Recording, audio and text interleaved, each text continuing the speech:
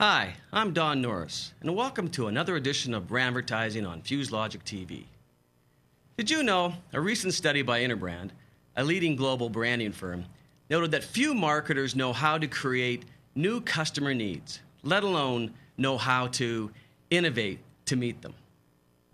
Well, today, we're going to look into the world of product development and innovation to shed some light on the thinking that marketers put into developing new products. I'm going to look at some recent new product success and have a chat with Timothy Lee, the Marketing Director of Innovation from Afexa Life Sciences, the Cold-FX people. Tim has a background and viewpoint on product innovation that I think many will find interesting. So, as we get set to talk with Tim, I want to share with you a YouTube clip of the top 10 new products from 2010. At the back of that, we'll come back and talk with Tim.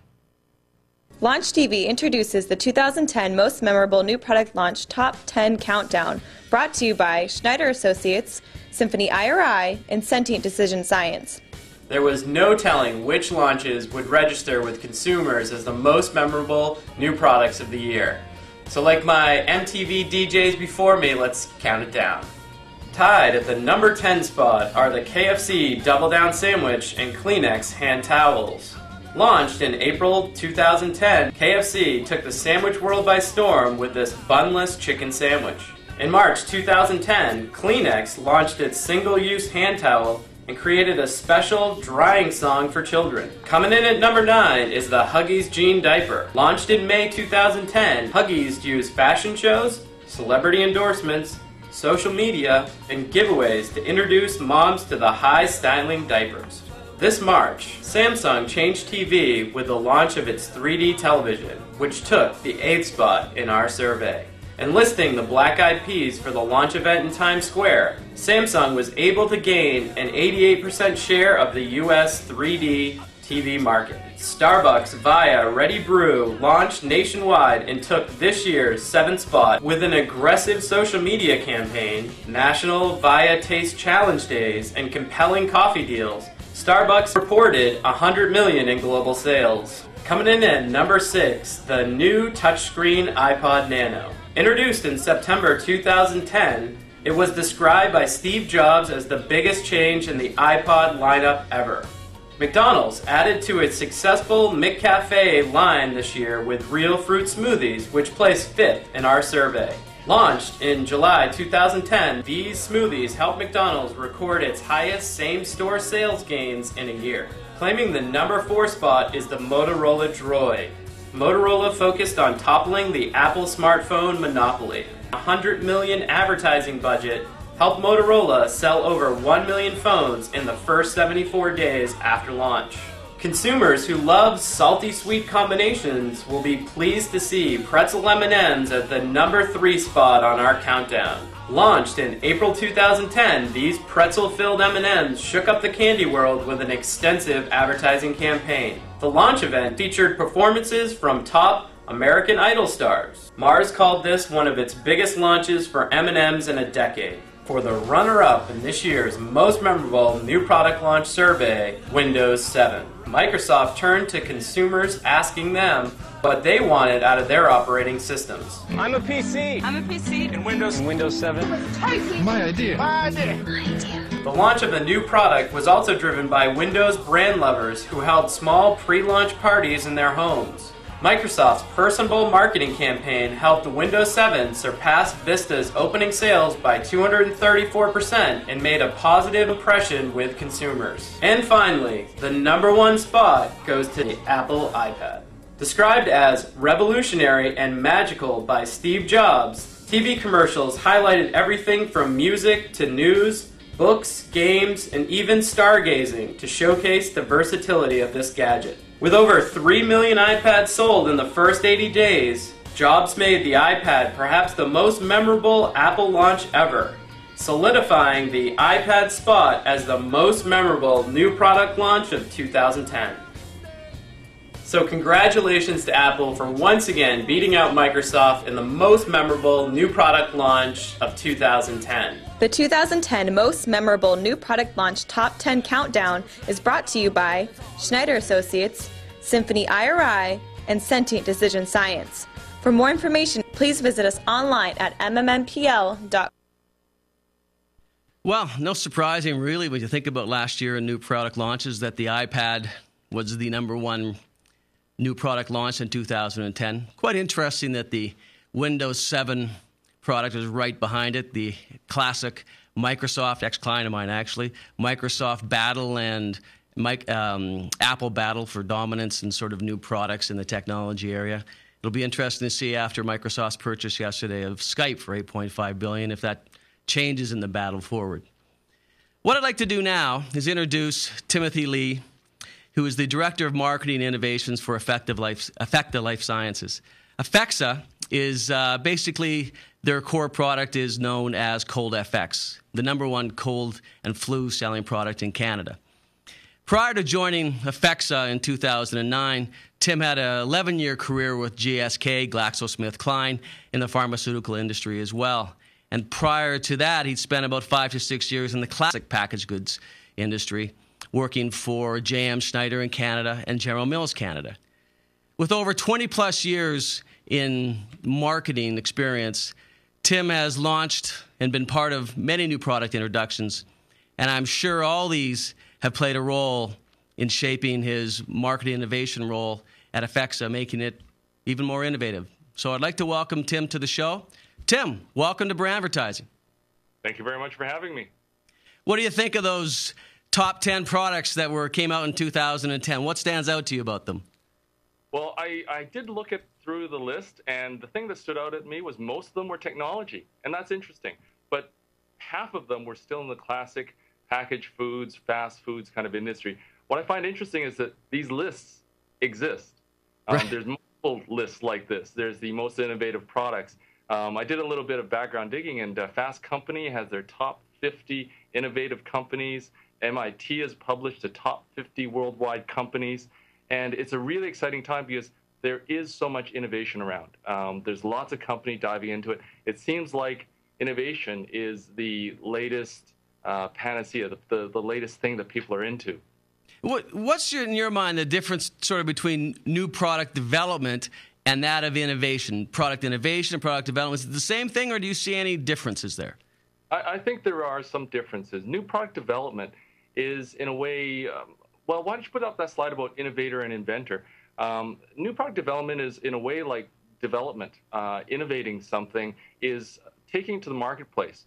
Uh, one of the ways to think about this is the inventor creates the idea and sometimes requires a lot of cash to do it.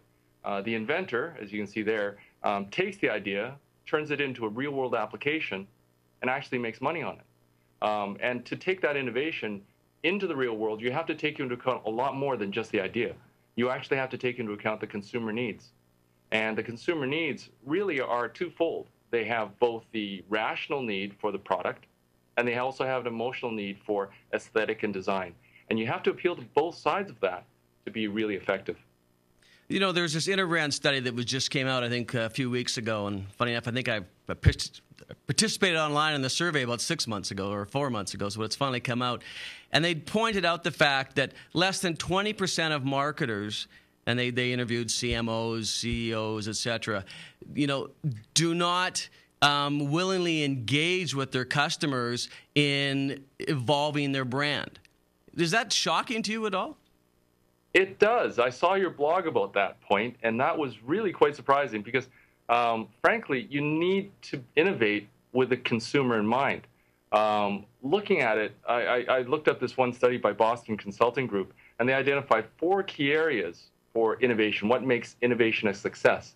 And the number one that they identified was idea generation, linked directly to a deep understanding of your consumer. If you don't have that deep understanding of the consumer, you don't understand their needs, you don't know what they're really looking for um, and how to appeal to that. So, in your background, and, and what's been some successes, and I think as you've pointed out before to me, you know, part of the game of success is you have to make a few mistakes along the way.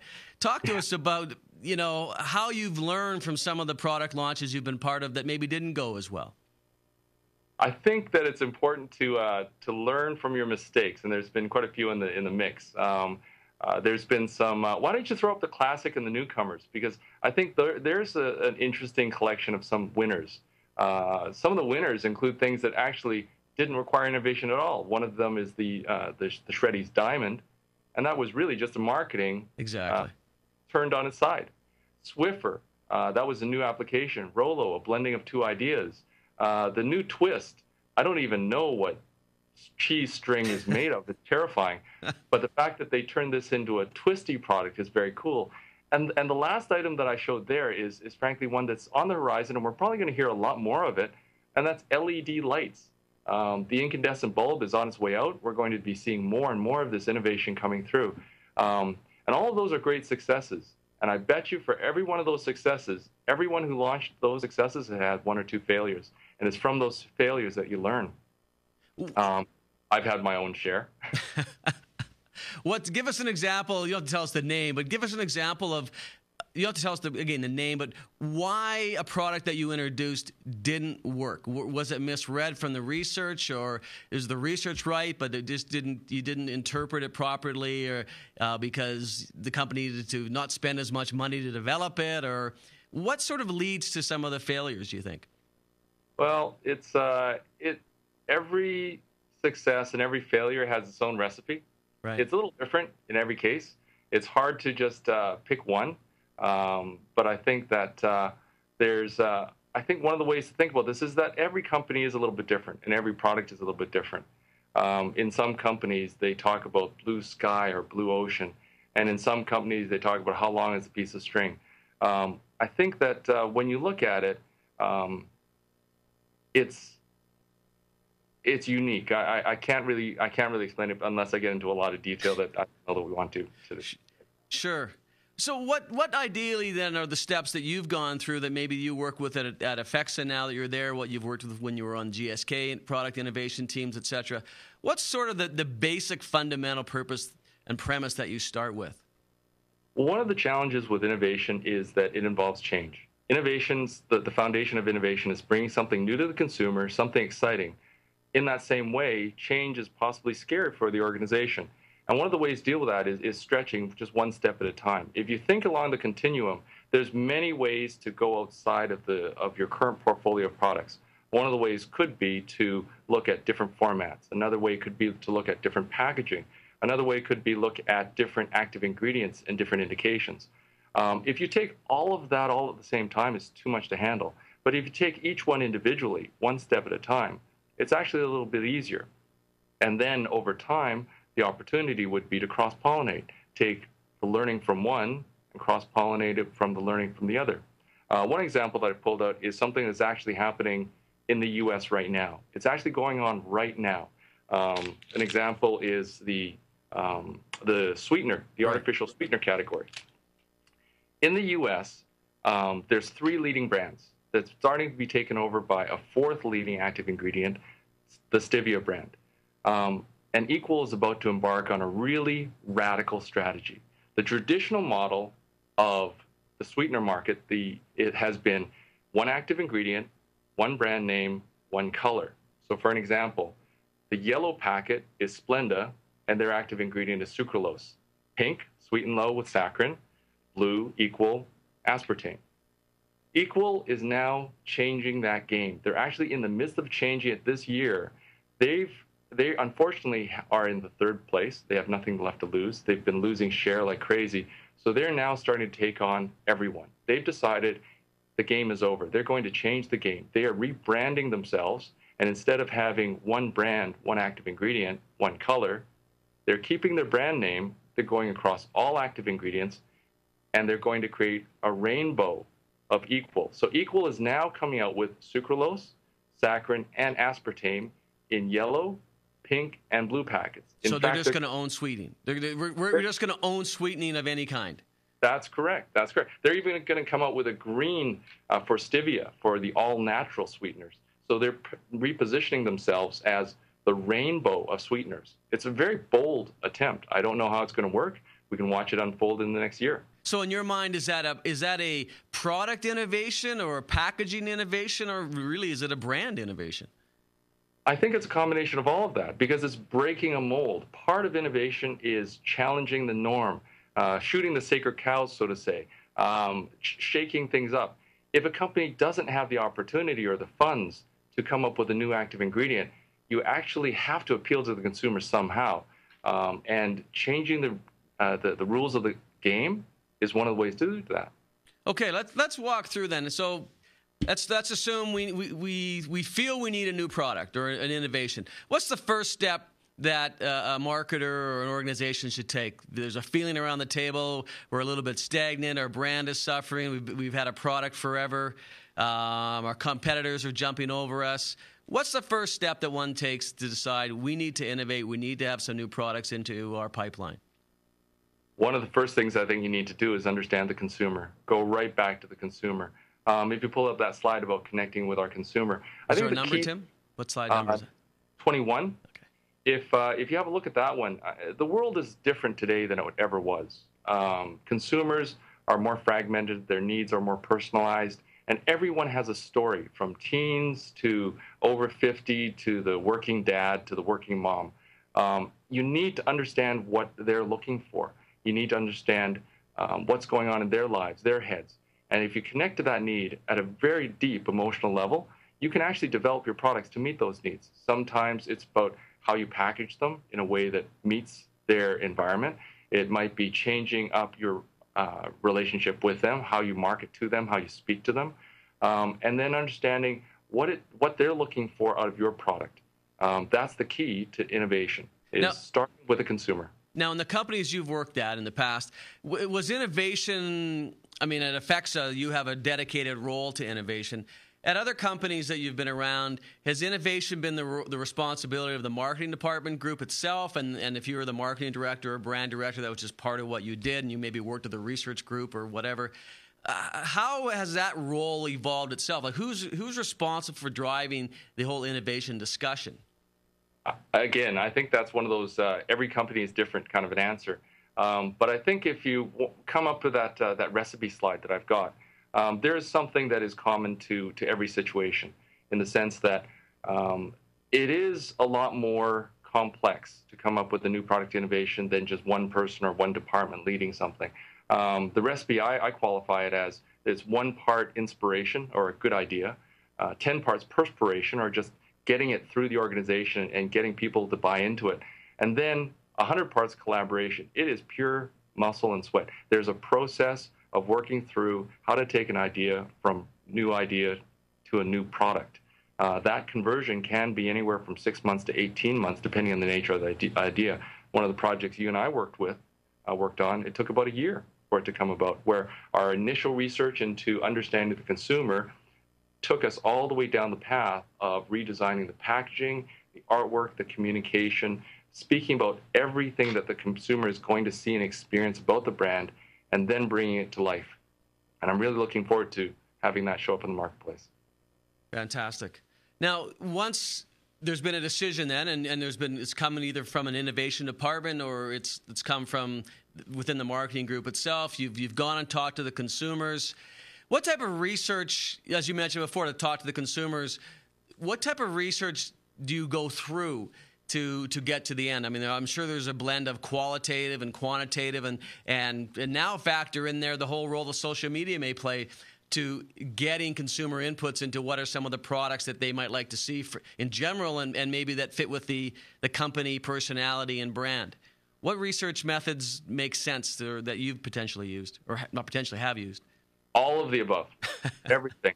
Um, I call it the dragnet approach. Um, really, you want everything. And uh, there's a there's a great TV show from the 50s. I'm dating myself now. Uh, it was called Dragnet, and the line from that uh, that uh, police detective was, uh, "Just the facts, ma'am. Just the facts." When it comes right down to it, good marketing is facts-based information. It's it's launched against known facts, known research. Uh, we know what the numbers are. We know what the prevalence of the situation is. We know uh, how many people suffer, how frequently they suffer. We know how how frequently they go shopping for it. We know the price points that they're looking for. Uh, we understand uh, how many times they suffer. We understand what are the key shortfalls of their current uh, products that they're currently using. Um, we also ask what they would look for if they could design something for themselves. Um, all of that. I mean, there's uh, there's research tools like AC Nielsen to understand the competitive marketplace, IMS, Euromonitor, omnibuses. Um, there's lots of syndicated research that you can buy. There's also custom research that you can uh, design for yourself, focus groups. Um, there are Radian 6 uh, programs that you can study, uh, social media. Now there's a whole new way of actually tapping into Facebook uh, followers who actually voluntarily uh, participate in online research. Uh, we've created our own Afexa consumer panel internally to tap into those consumers who feel a, a strong affinity to us and want to talk to us. And we want to actually listen to them and their opinions. So we, we do all sorts of research to get a little bit deeper, a little bit more insight, because it's that little bit of extra insight that actually wins at the end of the day. If you understand that little bit more about what that person's looking for, you really you really come up with some piece of magic sometimes. Now, with that consumer panel, are you at Afexa, are you guiding them with potential product questions, or, or are they coming to you and say, we'd like to, are they being specific, and then do you work with them, or is it just, there? it's sort of a general conversation you're having, and now and then product ideas and innovation is popping up? the way we're using it right now, um, it's a standardized quant research where we broadcast an email. They respond back by by checkboxing uh, certain responses or giving open-ended responses. Um, there are some opportunities that we have available via social media where we have followers of Cold-FX who just throw us ideas.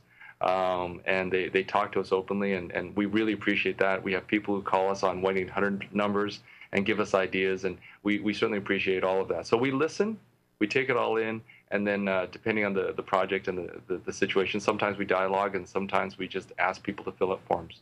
Tim, we have a question from someone in the web world, and Evan's going to pose it to you. So have a listen. Would Would you, Tim, ever consider launching a product using only social media? Um, there's, I guess, there's two levels to answer that question. Um, only lo- using social media for research, or only using social media as uh, launch activation or a, a consumer launch. Um, and I guess the short answer is it's possible. It really depends on the product um, social media is ever evolving. It would be the equivalent of asking someone, uh, "Would you ever consider launching someone something with only billboard?" And the short answer is yes, if it fits, absolutely.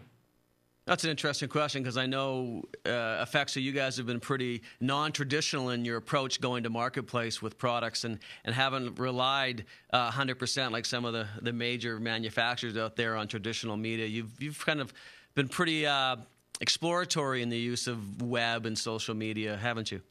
We have been incredibly dynamic. We have an amazing team of people here in the Toronto office that break all boundaries. It is awesome to watch them work. Um, they push the boundaries on, on how we go to market, how we activate, how we talk to consumers. We have some aggressive programs in social media. We do things that, frankly, uh, other companies, I think, only wish they could do. Um, we have an amazing digital team. We have an amazing uh, healthcare practitioner team. Um, our, our media team, um, they buy things that I can't. I, if you doubled our budget, I don't know that we could get it. It's just amazing the relationships that we have. So, and Tim, and sort of looking to wrap up here, what would be the the one for maybe the first three steps you would give it to someone watching the show that's been thinking about, you know, our product's a little bit stale, our product line's a bit stale, um, maybe even the brand's a bit stale, and we need to innovate. And I really wouldn't. I need to figure out what are the first maybe three steps I should be doing to bring some innovation into the organization. What advice would you give them? I, I'd say three things. First is stay open minded. You don't have all the answers, and if you don't listen to the consumer, you're not going to get the answer. Um, the second is recognize it's a journey and a process. Um, it's a long journey. It requires a lot of people. It requires a lot of energy, a lot of buy-in. And the third is keep your eyes on the prize. And the way to think about this one is we're into springtime right now. Um, I see a lot of motorcyclists on the road, and they're great. They're enjoying the open air and, and, and getting out there. thing I find interesting is that you can always tell where a motorcyclist is going to go because he turns his head. He turns his helmet, and as a driver, you can see where he's looking is eventually where he's going to go. That's the same thing with every organization. If they look towards the next innovation, if they look towards the consumer, they will get it because that's where their eyes are going. So keep your eyes on the prize. Excellent, excellent advice. That's quite a nice graphic to end with, Tim. Thank you very much. Thank you, Tim. It's been, uh, I think, enlightening, enlightening to hear sort of your background on product innovation. Product innovation drives the marketing world. Everyone's fighting for it. And just look at the battle that the technology world's happening. As you pointed out, a lot of those top 10 product innovations last year were technology oriented. And I appreciate you being on BrandVertising. And uh, we'll talk soon. Uh, so, once again, Tim, thank you for being on the show. Thank you for having me. What I'd like to do now is show a, uh, a case study that was uh, on that website that I've mentioned before called Ads of the World. And this was for a South African telco that were launching uh, an innovative new product. They were sort of fourth, fifth, we remember fourth or fifth player in the market and they were getting into the telecommunication game and they had to wanted to innovate a brand new product that would resonate with a unique target group and this case study is outstanding work um, of how much effort needs to go into it. As Tim was talking about, it, it takes a lot of time, a lot of people, and you have to really keep your eye on the prize. They kept it very simple. They created a brand name, they created a brand icon, iconography around it. They use social media, traditional media, celebrities, you name it, they used it. It's a fantastic case. And on the back of that video, we'll come back to BrandVertising and end the show.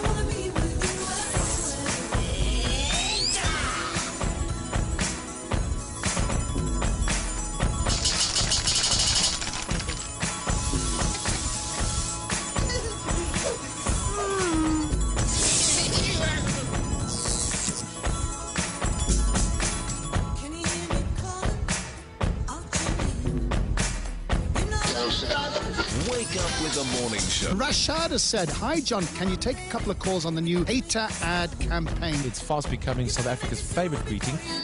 Hater. Hater. Hater. That's a big hater. Eastern Cape producer. It's, it's kind of a new buzzword. At 8 o'clock, it's oh, the news at 8 o'clock. 8 o'clock. It's better than Iowa.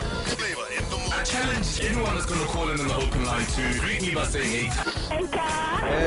Hater. Simply means hi. Hi.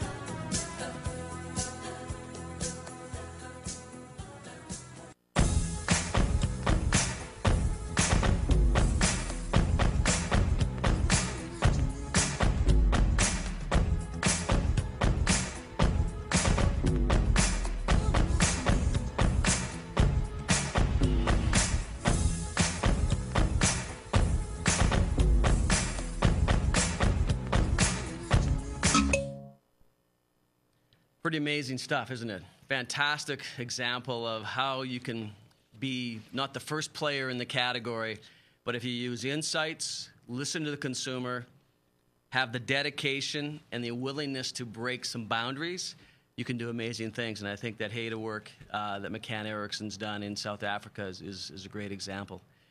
So, in summarizing today's show, I hope the viewer and the listener understands the role product innovation plays and how it literally is the lifeblood of an organization.